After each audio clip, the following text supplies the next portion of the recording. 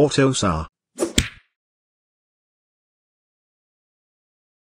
AutoSAR, Classic Platform R1911, Overview. Architecture.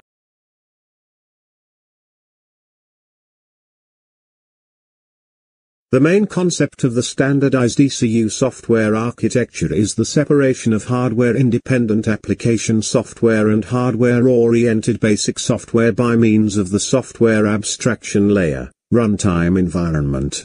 The runtime environment includes the control of the data exchange between these layers.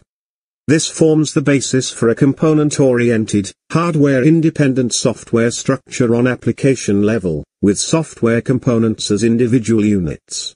Because of their hardware independence, it is thus possible to develop software components without specific knowledge of the hardware used or planned, as well as to flexibly relocate existing software components to ECUs during development. On the upper side of the runtime environment, the abstraction layer enables the development of competitive and OEM-specific software applications.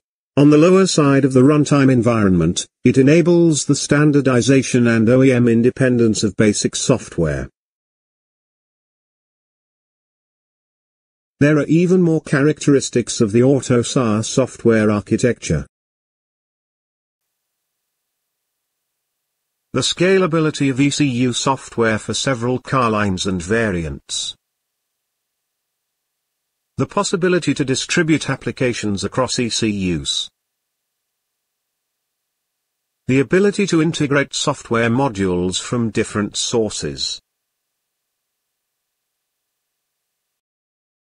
If you want to learn more about AutoSAR and other interesting topics, go to embeddedacademy.com.